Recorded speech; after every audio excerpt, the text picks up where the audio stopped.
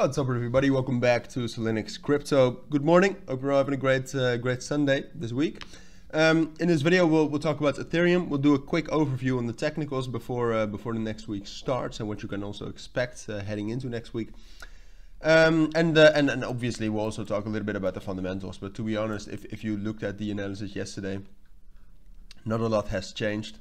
Um, yesterday we actually got a little bit, little bit more volatility, a little bit more volume than I expected for for, for Saturday, um, but still it, it wasn't wasn't a lot. All right, and, and the volume right now is, is still very low. It's at two percent of the market cap, which is um, absolutely unprecedented. Actually, I mean, if you take a look at that over the last three months, we we, we have never had these volumes like like for in, in, in a very long time. Even in the last year, we're really getting towards uh, the, the lower end right now confirming that this is really a bear market. So uh, congratulations, you made it to the bear market. This is the time to get rich, right? Um, but yeah, so I'm also not, not uh, updating Bitcoin either today. Uh, it's just going to be like Bitcoin and Ethereum are going to move together. Uh, now, I do expect the volume to pick up later today. Um, volume usually picks up in uh, in in like the the latter day of the um, of, of the Sunday, the, the the, the latter part, excuse me um, and and Monday morning. So volume is definitely going to go up from here. I uh, I suppose, even though it might stay relatively low, but it is going to go up from here. Um, and basically, what you can see, just just pure, purely technically, we're, we're, still in the same situation, right? So we're holding this uh, 1250, 1270 level as our support, um, which is a very strong support level. Um, we're not really reacting anymore to the 200 EMA, which suggests that uh, we're not, not, not really trending anymore, which is further confirmed by, by the low volume.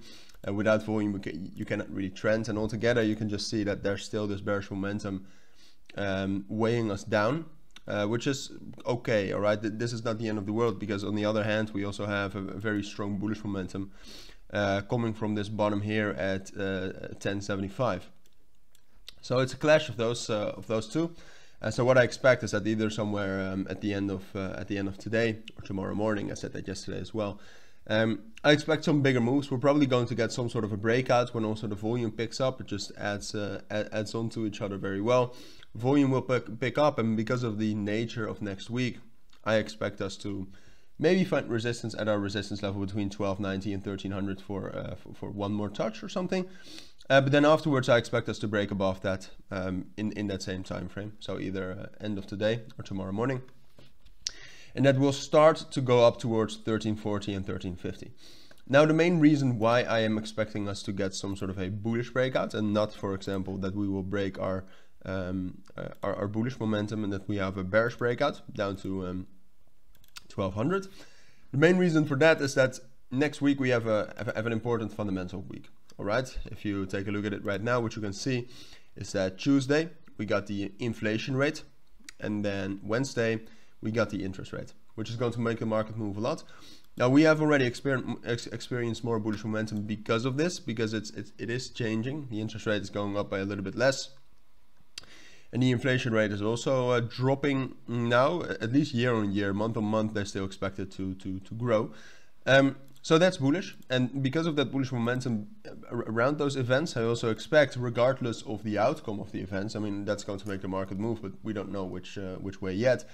Regardless of that, I, I, still expect that momentum that comes with it to be bullish, and therefore that we can, uh, with the uh, with the arrival of more volume and volatility, that we can break above 1290 and 1300 and start our journey up towards 13 1350. Uh, I don't think we'll get there easily, uh, but I do think we'll um, I do, do think we'll, we'll be in that rise when we uh, get to the get to the big fundamental events, which are obviously going to make the market move uh, just depending on the outcome of the event only. So then technicals don't really matter anymore.